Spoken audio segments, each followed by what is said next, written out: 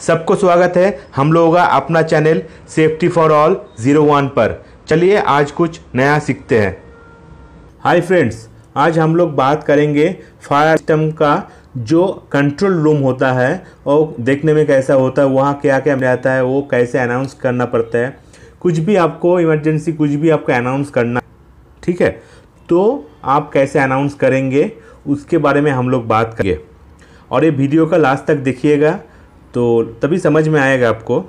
कभी भी स्किप मत कीजिए ओके और इसमें कोई भी आपका क्वेश्चन है तो कमेंट कीजिए और वीडियो का लास्ट तक देखिए। एक ऑफ़िस का फायर सिस्टम का जो कंट्रोल रूम होता है, वो देखने में कैसा होता है और इसमें क्या क्या रहे और कैसे इमरजेंसी के टाइम आपको कुछ भी अनाउंस करना है या कुछ करना है, वो कैसे किया जाता है, वो हम लोग आज बात करेंगे। ये देखिए, ये है कंट्रोल रूम इसमें जो मॉनिटर है वीडियो दिखाई देता है, ठीक है? और ये देखिए, ये है जो कंट्रोल बोर्ड कंट्रोल मशीन यही है. मेन मशीन यही है. इसमें रीसेट करना पड़ता है, कुछ भी करना पड़ता है, यही इधर स्विच होता है. यही है मेन आपका कंट्रोल रूम का कंट्रोल बोर्ड ठीक है? पावर सप्लायर्स है, सब कुछ है इधर.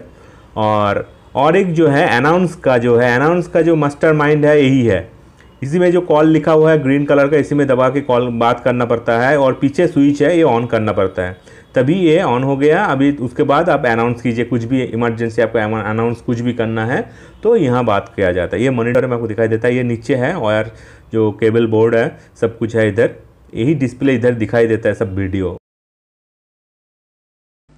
अगर ये वीडियो आप लोगों को अच्छा लगा है तो लाइक कीजिए, दोस्त लोगों से शेयर कीजिए मेरा चैनल को सब्सक्राइब कर दीजिए और बेल आइकन को ज़रूर क्लिक कीजिए कोई भी वीडियो सबसे पहले पाने के लिए। तो ओके, बाय, थैंक यू।